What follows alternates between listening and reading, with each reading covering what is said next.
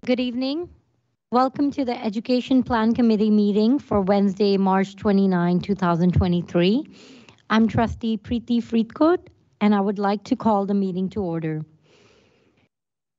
Please join me in acknowledging that we are unlearning and relearning on the traditional and unceded lands of the Musqueam, Squamish, and Tsleil-Waututh nations.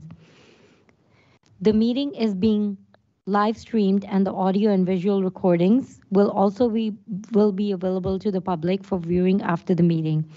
The footage of the meeting may be viewed inside and outside of Canada. The board has a strong commitment to ethical con conduct.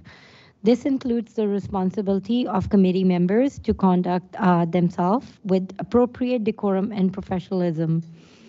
As chair of the committee, it is my responsibility to see that decorum is maintained. Following presentations, information items, there will be an opportunity to ask questions for clarification purposes. I ask trustee members and stakeholder representatives to keep comment to the content provided in the presentations report. Before we begin, I will go around the room and if everyone could introduce themselves for the roll call, starting on my left with uh, Allison Ogden, Director of Instruction. Uh, David Green, Secretary Treasurer. Arabella Mew from VDSC. Lois Chan Pedley, Trustee and Committee Member. Alfred Chien, Trustee. Uh, Josh Zhang, Trustee and Committee Member. Eric Prue, Vase. Carmen Shadley, Vancouver Secondary. Brigida Bjorn, VETFA. Erica Jade Mulheron, PASA.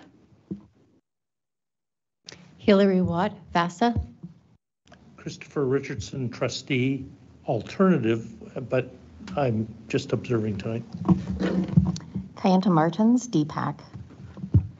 Jennifer Reddy, trustee, committee member. Suzie Mah, trustee.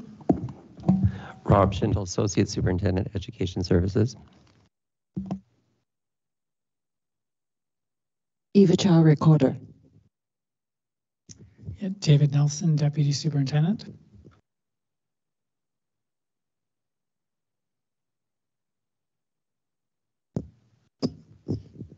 Sorry, uh, Marisa Dikiakos, CUPE 15. Janet Fraser, Trustee. Victoria Young, Trustee.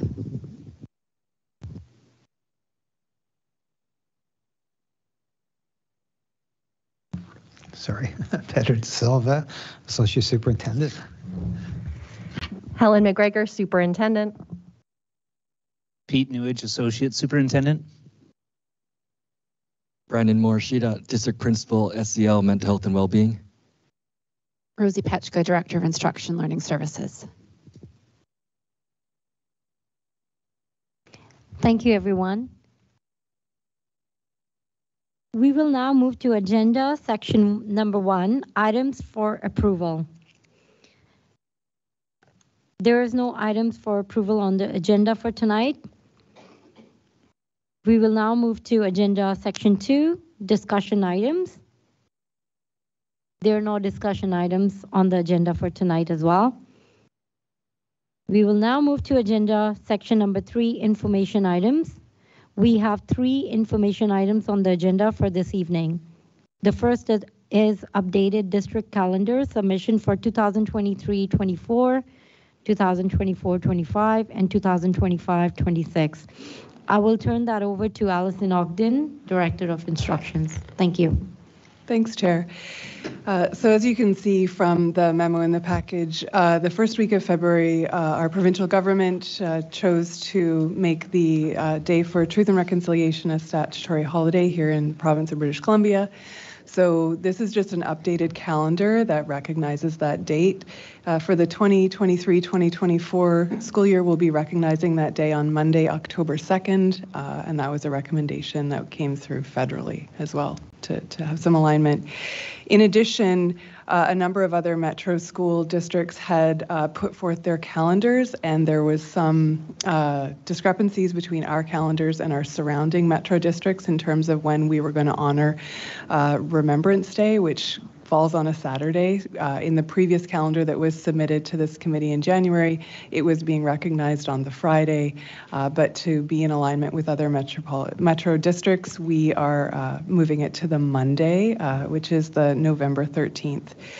Uh, while not in the information for the committee, um, looking at the hours of instruction, knowing that that day uh, will be a, a day of non-work and non-instruction for students, we are still meeting the minimum number of instructional hours for both secondary uh, and elementary for next year and moving forward. Thank you. Thank you, Allison. Are there any questions related to the presentation or to Allison?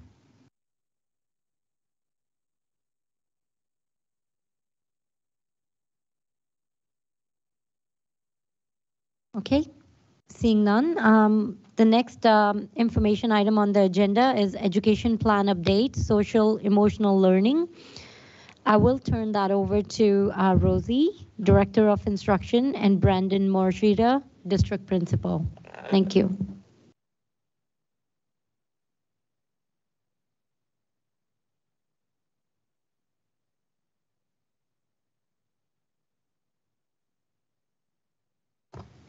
Thank you, everyone, and good evening. It's an absolute pleasure to be here tonight to speak about mental health and social emotional learning and supports uh, for our students within the district. My name is Rosie Petchka. I'm Director of Instruction for Learning Services. I support all of our students in the district with special and diverse needs, as well as our mental health portfolio, our social um, emotional learning portfolio, and safe and caring schools. I'll pass it over to Brandon for a quick introduction. Good evening, everyone. Um, my name again is Brandon Morishita, uh, District Principal of SEL Mental Health and Wellbeing. Um, I came over um, from Douglas Elementary in November, um, where I was a school-based uh, principal there, and prior to that, I was at the vice principal at Secord Elementary. So happy to be here and and continuing the great work that's been done the past few years. Thank you, everyone. So tonight we'll be speaking a little bit about uh, supports in schools for mental health and social emotional learning, as well as the mental health in schools strategy, as well as some of the ongoing work um, being undertaken in the district to support mental health and social emotional learning for our students um, and our staff. Mental health promotion is a key driver for the mental health in school strategy. Ooh. I'll maybe I'll just pop to the agenda quick. Uh, so tonight we'll be talking about mental health in schools, the strategy, the ongoing work to support mental health and well-being, information used to guide decisions and planning and looking forward. And you can move to the next slide, please. Thank you. Um, so a couple of pieces um, around the mental health and school strategies. The, the strategy's been in place for a couple years now, coming up to three years in September, and it um, has been a live and working document. Um, there have been updates to it along the way, um, but one of the key pieces is, is that it lays out a very clear framework for supporting students uh, within the district and supporting staff within the district. And while social emotional learning and mental health are not the same, social emotional learning can be seen um, and is a way to promote positive mental health in many ways by promoting responsive uh, relationships, emotionally safe environments for learning, skills development. Uh, social emotional learning cultivates important sort of protective factors to buffer against mental health risks. And in this way, social emotional learning is an ind indispensable part of student mental health and wellness, um, helps to improve attitudes amongst uh, about self and about others, um, while also decreasing emotional stress. The mental health in schools strategy um, is um, uh, formulated and made up of a number of key pieces, and I'll speak to each of those. Firstly, a pathway to hope, which was released by the Ministry of uh, Mental Health and Addictions and Safe and uh, Safe Schools under the Erase strategy, uh, were used to inform uh, the development um, uh, for the mental health in schools strategy. And the strategy outlines the three pillars. And if we could go to the next, oh, sorry, sorry, if we could go back one slide, apologies. Uh, the first pillar, just at the bottom there, is compassionate systems leadership. And compassionate, and compassionate systems leadership is an approach that inspires transformative teaching and invites educators to consider new ways, uh, new ways of learning, new ways of supporting students, new ways of delivering curriculum. Um, and in that, in, embedded in that is compassion within the work that is done. The second pillar um, is capacity building and refers to both the growth um, of personal capacity as well as capability within the school, the district, and the overall sort of system capacity that we hold. And the third pillar is mental health in the classroom.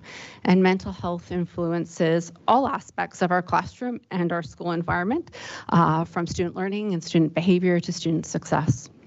And the best learning we know is rooted in relationships.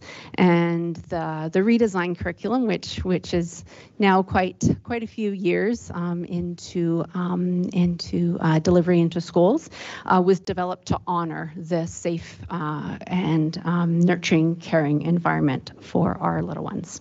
Next slide, please.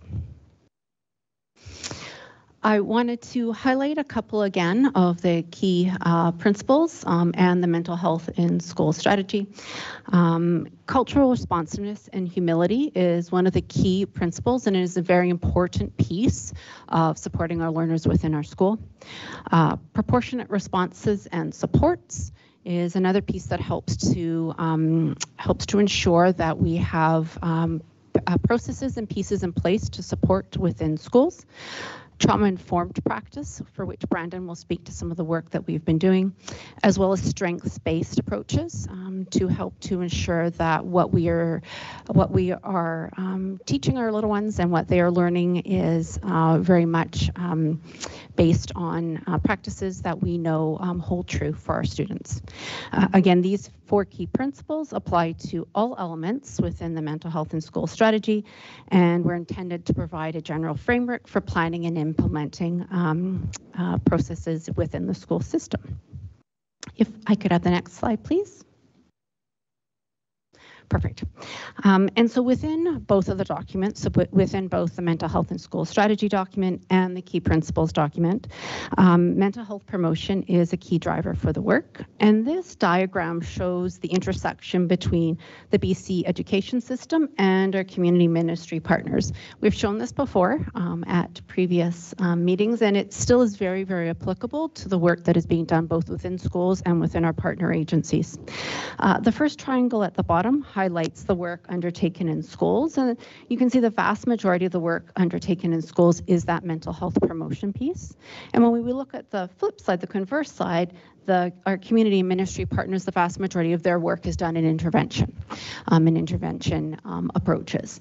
Um, in, um, in connection together, we both have prevention, and that's work that we do together, and that's part of the work that our mental health um, and social emotional learning team do together. Um, but coming together and working together throughout these pieces is critical and crucial for our students and for learning. With that, I'm going to turn it over to Brandon, who will talk about our next slides. Thanks, Rosie. We can go to the next slide. Um, so in order to cultivate uh, system-wide well-being, uh, the STATCL mental health and well-being team continue to offer um, numerous professional development opportunities to support compassion system leadership. Uh, these opportunities allow our staff to better equip so they can support the students that they work with in the areas of mental health literacy, mental wellness, social emotional learning. Next slide. So over the over the years, District Learning Services um, have offered numerous professional development opportunities on many topics, including social emotional learning and mental health. Uh, these opportunities are offered to staff that directly support students in our schools. That's teachers, support staff, office staff, and administrators on the screen um, provides some opportunities that we recently offered, um, but I kind of want to just um, touch on about three of them. Uh, during our February 17th Pro D Day, Angela Murphy presented on reframing, reframing complex trauma and behaviors through a developmental lens. She shared how trauma impacts the brain uh, and body in the seven areas of development that are often impacted for our students who've been in, who've been through difficult situations. Angela introduced a framework for how to calm the nervous system for ourselves and for our students, and left us with 10 ways to how de-escalate students' big behaviors through a trauma-focused lens. Uh, this work, this workshop reinforced how to build compassionate learning environments, allowing both students and staff to thrive. We had a, we, we offered it out, Angela took it up about 200 people um, for her workshop, uh, and it was filled 200 within the first two weeks. So we'll be looking next year at what we can do to increase that number. Uh, another opportunity that I want to highlight is our trauma-focused schools workshop that we promote. Uh, this is a seven-hour self-paced online course um, that we offer in our district. Uh, we continue to receive very positive feedback and interest from staff who provide direct service to our students. And so we've opened up more spots this year uh, to, recruit, to create more opportunities for staff to register. Uh, last year, we had about 600 people registered. Um, and as of today, over 1,000 staff have completed or are currently enrolled in, in the course. So we're very excited about that. Um, and last, last year, our team worked with the MEHRIT Center and Dr. Stuart Shanker uh, to provide self-regulation training to all our staff. Uh, we are now very excited to share that we now have a cohort uh, which includes classroom teachers, counselors, SSAs, SSBs, uh, resource teachers, um, who all be enrolled in the Self-Regulation Foundations One Certificate Program. Uh, this is an eight-month intensive program with four courses that explores the science of regulation and stress, including how the body, brain, and stress system works, and how stress affects children's behavior and moods, the difference between misbehavior and stress behavior, and the importance of relationships in self-regulation and learning. Next slide, please. The, uh, so now next look at the professional development opportunities um, that are offered really support staff to build capacity around mental health literacy and mental health promotion. Uh, the our SEL team, mental health team have curated and provided many resources that staff can use directly to our students. Next slide. So just here's just the list of some of the things that we have offered throughout the, the school year this year. Uh, one very important resource that I want to talk about, touch base on, is our SEL SharePoint. Um, this is a, a, um, a, SharePoint online for all our staff that has resources, lesson plans, videos. For example, one of our SEL 101s from our district uh, SEL teacher will be on here and uh, through a video on how to integrate SEL strategies into classroom routines. Um, our district S resource teacher also collaborates daily with teachers in our schools, in our, in our, in our, in our schools to model and show best practice on how to implement SEL practices. She also provides lunch and learns, manages and organizes um, SEL leads meetings and offers many Pro D opportunities throughout the district. Uh, we've all, we're also in the process of creating a kindergarten to grade 12 SEL mental health resource guide and we'll be in the, in the midst in the next few months sending that out to all our schools uh, to start the new school year. We're also currently uh, collaborating with multiple departments this year um, in, our, in our district to support the Diversity, Equity, Inclusion Youth Conference. This event is uh, planned uh, by our youth, for our youth, and will happen in person this year on April 27th at the Jewish Community Center. This year's focus is going to be self and community care and healing. Uh, Finally, I'm going to touch base on the mental health education and childcare provides us funding to support mental health, to provide mental health in schools each year, which focuses on, as Rosie said, compassion system leadership, capacity building and mental health in classrooms through trauma-informed practice and a culturally responsive lens. Carrying on from our work last year, uh, our district SEL mental health team, mental health and well-being team are creating SEL nature kits and SEL Indigenous educational enhancement worker kits um, that will be distributed to all elementary and secondary schools um, in the next few months. Next slide. These are just some of the, the kits that we worked through with our Indigenous Education Department. Um, we, with our team, um, we gathered a bunch of information just from um, other districts uh, and our indigenous, indigenous, indigenous education leads uh, and came up with um, a bunch of resources, books, activities that we can use, put them all together, and this is what we've come up with. Uh, these will all be going out to every Indigenous enhancement worker um, in our district. Next slide. And then this is just another another a bunch of uh, storybooks that we'll be sending uh, to each elementary school, to all 88 elementary schools in our district. Um, we've just placed the order just before spring break, so hopefully that will come soon um, and they'll be all distributed um, within the next month. Next slide. Finally, and this is our secondary nature kits that will be going out to all our secondary schools. Next slide, please. So we continue to work with other teams and departments to embed Indigenous knowledge and perspective throughout all learning environments. Next slide. So this is just a list of programs, tools uh, that support educators that are that, that the educators are using to support social emotional learning and mental health in the classroom. In collaboration with our Indigenous Education Department, we have now built and some schools have now received Indigenous healing gardens, uh, healing holistic gardens. Uh, this initiative will provide the opportunity for both students and staff to engage and learn through four holistic developmental domains, emotional, physical, intellectual, and spiritual. Currently, we have 16 boxes that are created over nine schools, and our next step right now is to organize a ceremonial blessing uh, for each of the gardens alongside our educational department. Uh, finally, I'll talk about Open Parachute. Uh, Open Parachute is a mental health and well-being platform uh, that is av available for teachers in grades that teach kindergarten to grade 12 each grade uh, has approximately five units with 45 lessons embedded into it. Uh, students view teacher-led videos on mental health and well-being, and each lesson is based around a documentary uh, of videos that showcase real that showcase youth sharing their own experiences overcoming struggle. Uh, but this is a teacher-led platform that our teachers using in our elementary and secondary schools. Next slide. So where do we go from here? The big so the big question that we want to ask ourselves is how do we know what we're doing is making a difference? So currently we're using three tools uh, to gather the evidence. We look at information from the MDI, YDI, and student learning surveys. Middle MDI is middle development instrument, uh, youth development instrument, and the student learning survey, but also accessing street data level uh, that we get from our staff, students, and families in our district. Next slide.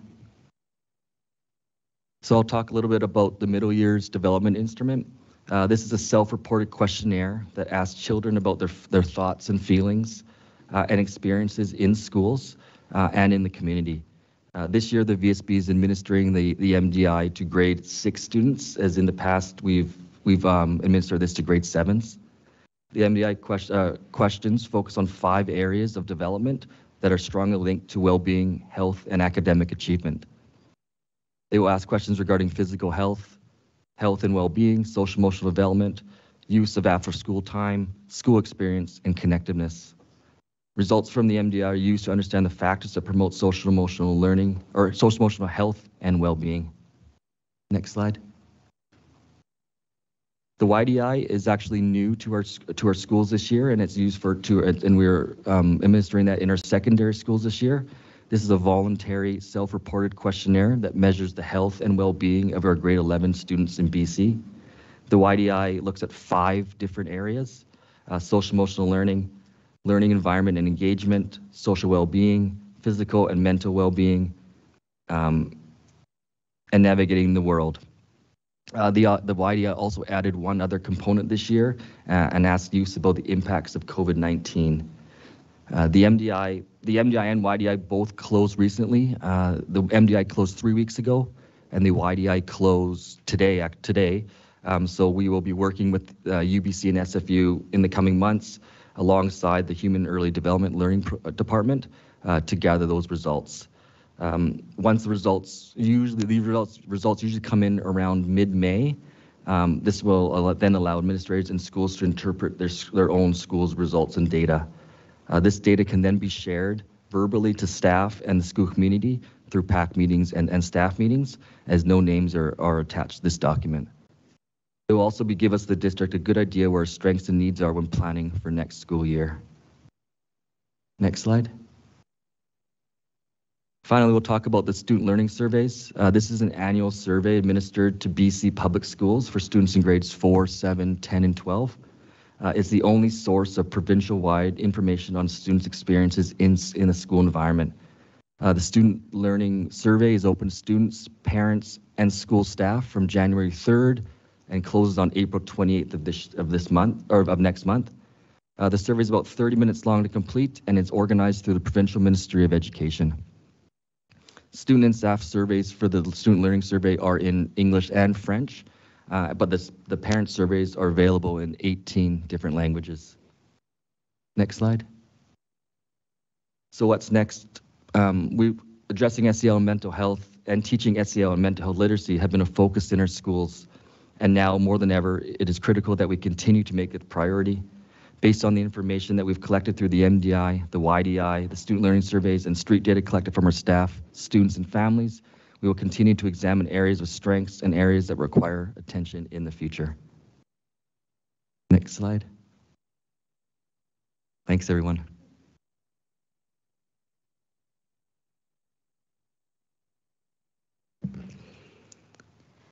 Thank you, Rosie and Brandon. Are there any questions related to the presentation?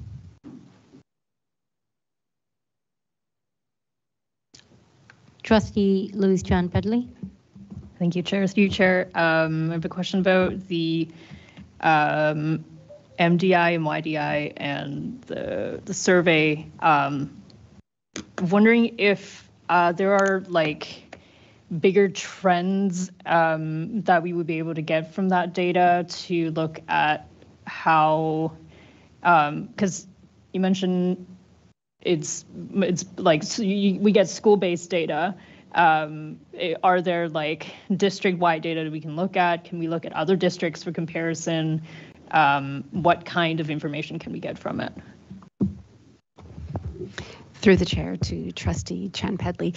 Uh, that's a fabulous question. Um, uh, I'll give you an example of a question on the MDI. So one of the questions on the MDI for students in grade four is how connected or do you feel to your school or is there a trusted adult that you feel connected to in your school? And for many folks, that's a really, really important question.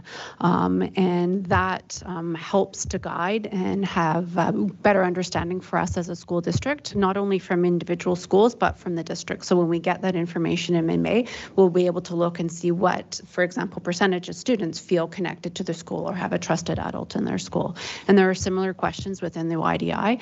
Um, and so when we are able to get all those pieces together, it will help to formulate for our schools and for many of our schools for their growth plans. Many of our schools have uh, social emotional learning or mental health as part of their school growth plans that will help to formulate um, uh, next steps for schools in that way.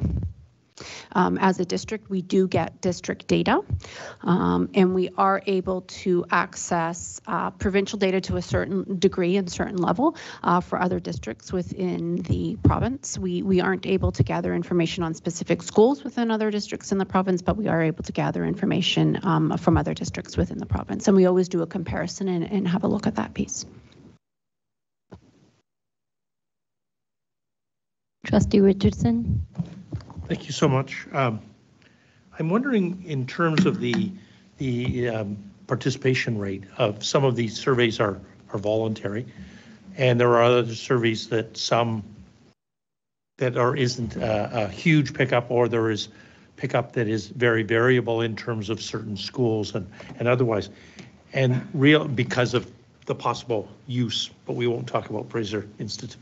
Um, do we you know, I think it's important that we have as robust participation as possible.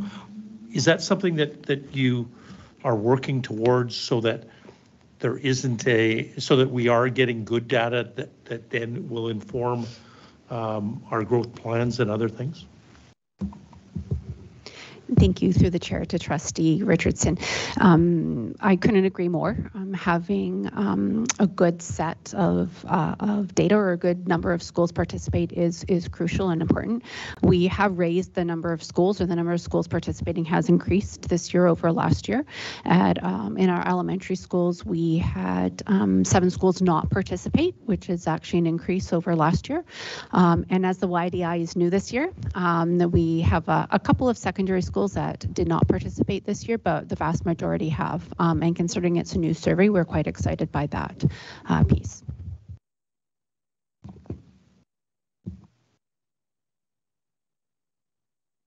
Please go ahead, Marissa.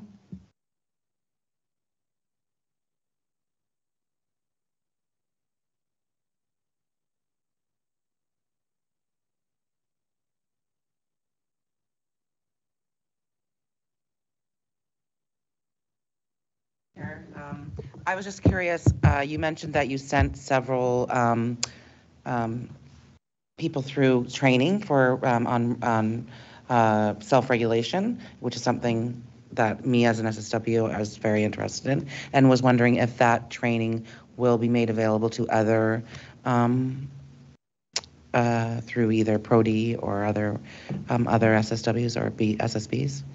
Thank you.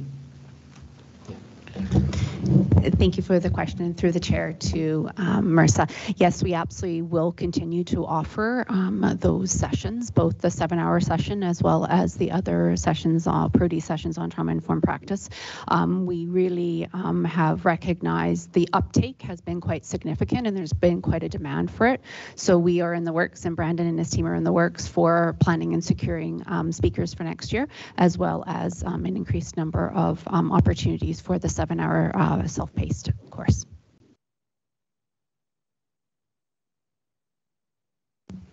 Deepak Kayanta. Thank you. Um, so at the stakeholder budget meeting uh, a couple of months ago or a month and a half ago, um, we heard from a number of um, employers of VSB or employees of VSB that they didn't find the mental health toolkits as useful as they would, say, more counselors in schools. Um, and so I was wondering if that one, if that feedback had reached you, and if there was consideration of putting that money that was being put into mental health toolkits, perhaps for more counselors in schools, um, and as well if that feedback is there, is there training that goes along with the mental health toolkits on how to use them, or Thank you through the chair to Kayenta. Um, the mental health toolkits were funded from the mental health grant that we received from the ministry, um, and there were there were parameters around that, um, and staffing was not something that we were able to use uh, for that funding, and as such, we used it for the toolkits. All of the uh, counselors that received toolkits did receive training from uh, staff at Learning Services. However, we are more than happy, um, and we are always more than happy to do more training for uh, counselors or any staff that use those toolkits. Um, from our understanding, the feedback has been that they've been very, very useful um, and very helpful. Um, they sort of provide a snapshot of available resources and supports for schools um, and ones that are appropriate for um, you know elementary, secondary age students, as well as the uh, Indigenous toolkits as well.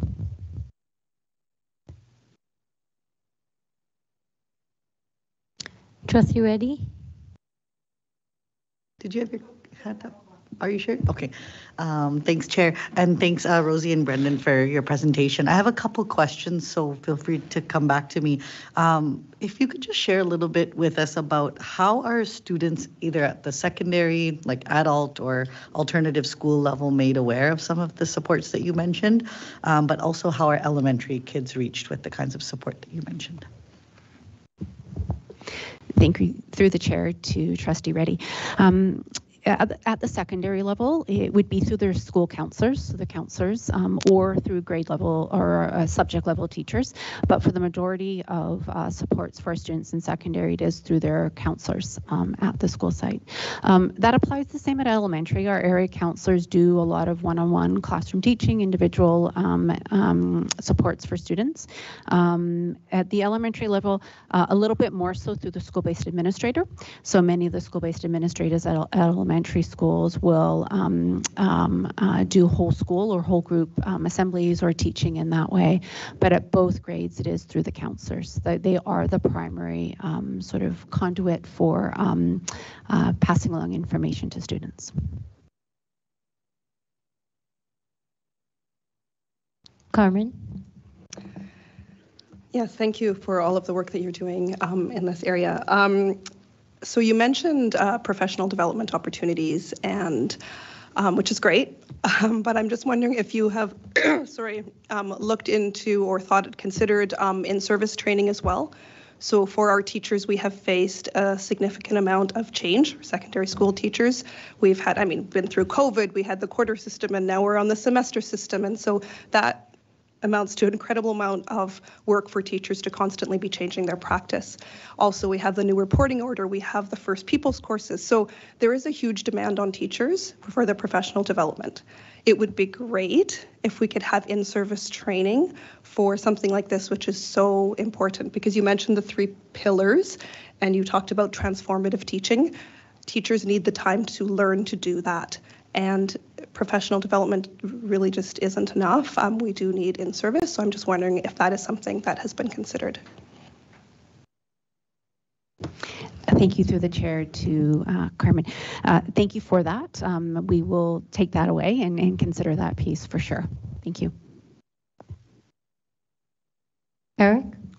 Thank you through the chair and thank you for the presentation. Um, yeah, uh, just to, as a, on a personal note, I very much appreciated the open parachute program as a grade six, seven teacher.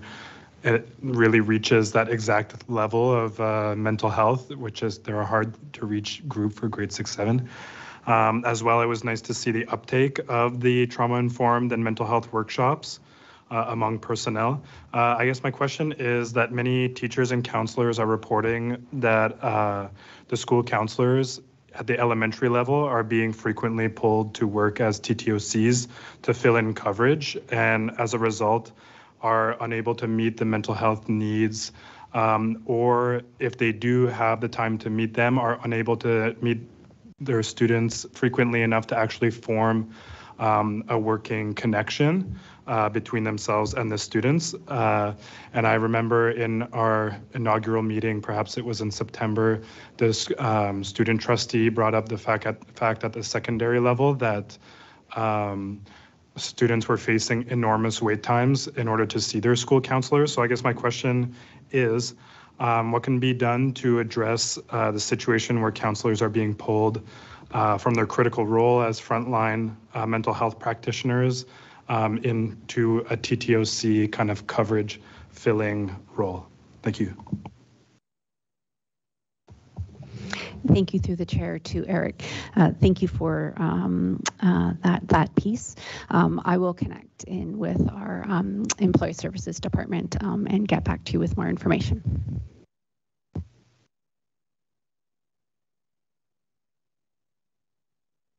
Trustee Reddy?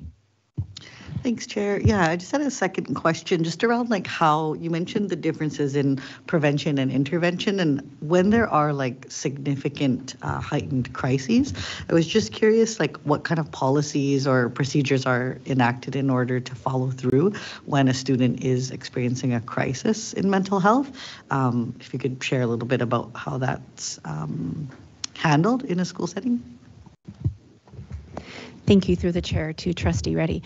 Um, each situation is unique and it really depends on the student, the age of the student, uh, the grade level of the student. Um, but ultimately, at the end of the day, um, it's connecting in with their families first and foremost, um, and um, and then accessing outside supports, and very often helping families access outside supports. As we all know, there there can be significant wait lists for outside supports in the community, whether it's pediatricians or whether it's mental mental health supports um, or whether it's just receiving an intake or an assessment. So very often a lot of the work that we do in schools is helping families to navigate that, but also helping to support um, families as they go through that process as well to help to support their their their children.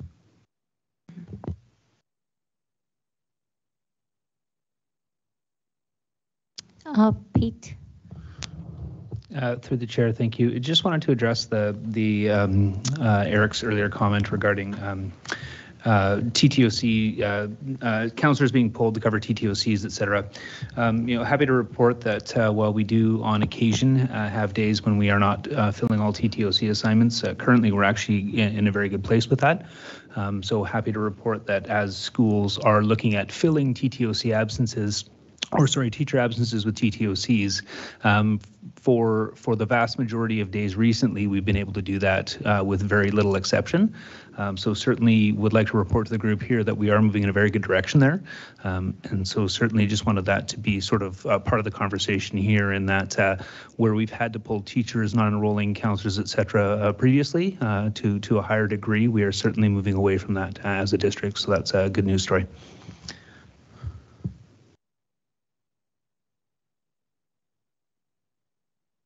Are there any more questions? Carmen? Uh, That was really great news to hear um, from uh, Associate Superintendent.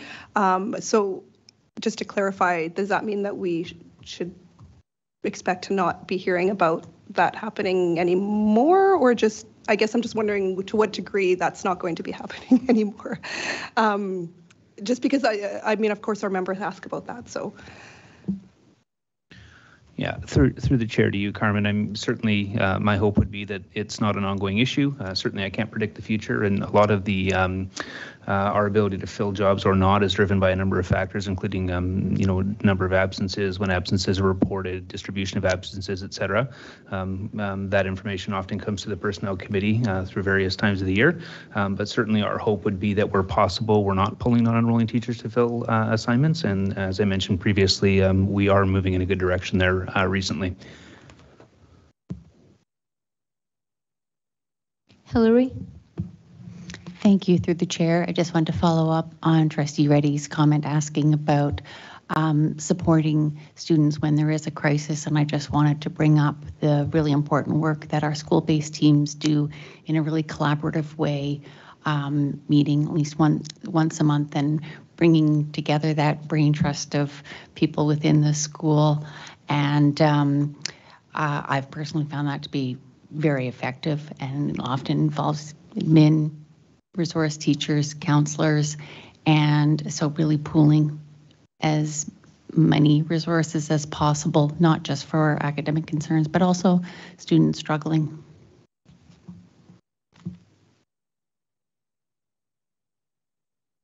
Trustee Mah?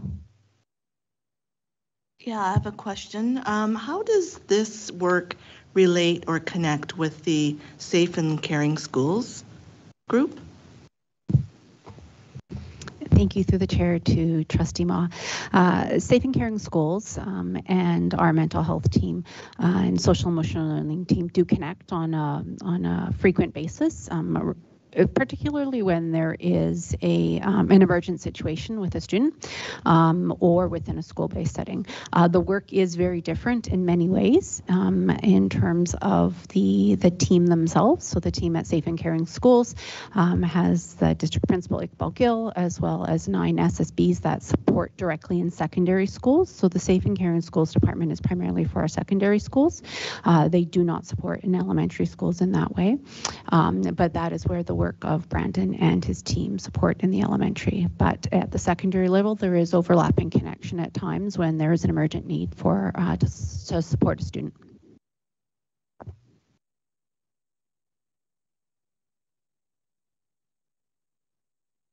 Thank you. Any more questions? Okay. All right, we can move ahead. Uh, The final information item on the agenda is reporting order update. I will turn that over to uh, Pedro De Silva, Associate Superintendent, Educational Services. Good evening, everybody.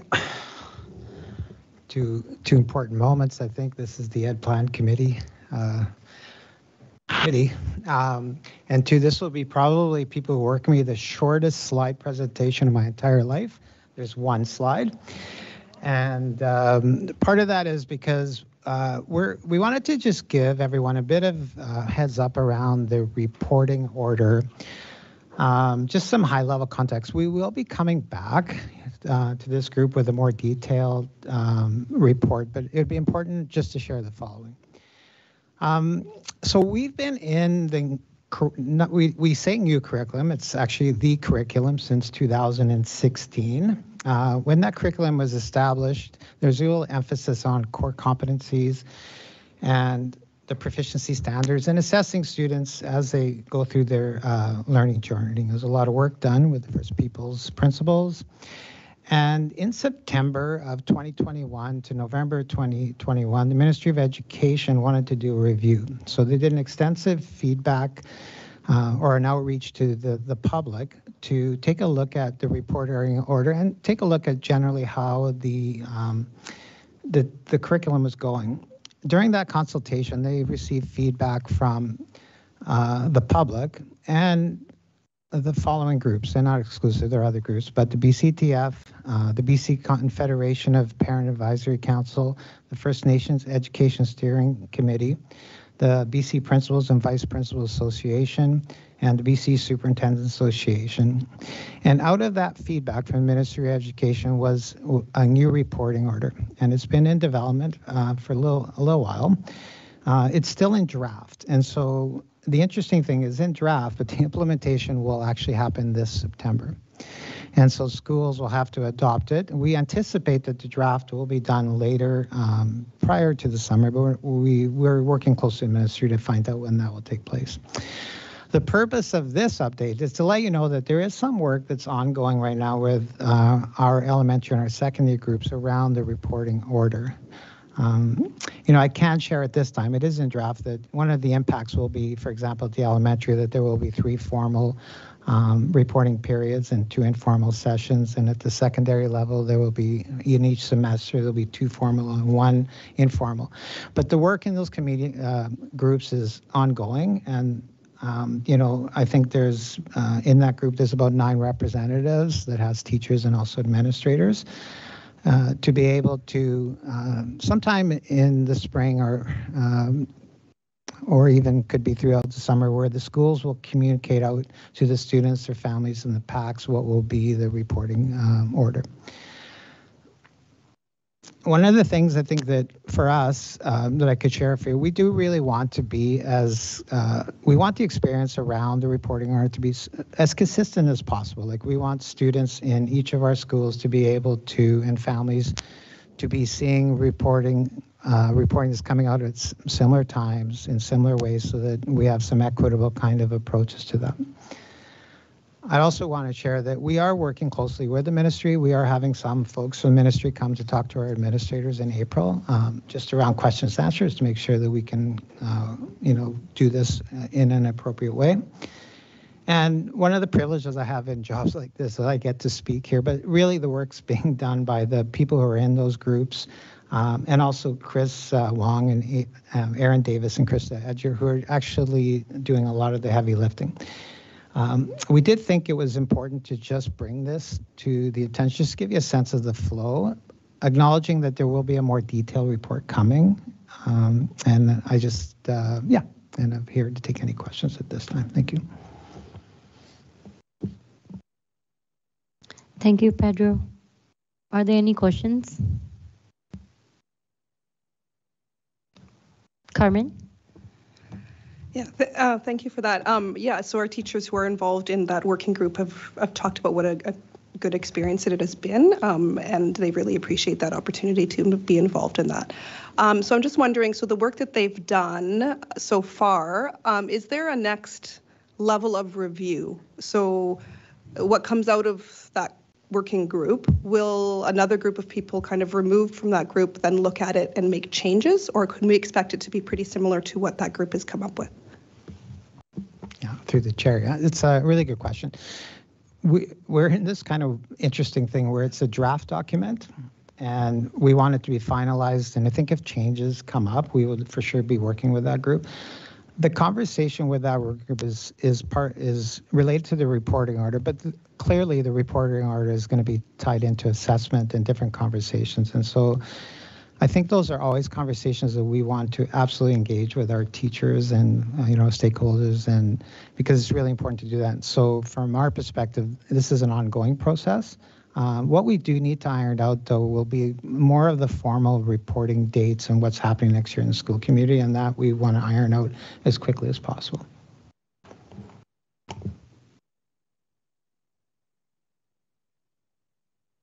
Are there any other questions?